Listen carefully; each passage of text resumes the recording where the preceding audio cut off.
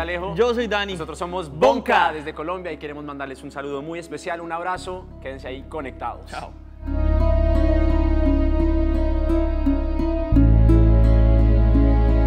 Yo soy Carlos Baute y quiero darle un consejo muy sencillo. Señores, no manden mensajes de texto ni estén con el telefonito ahí cuando estén en el carro.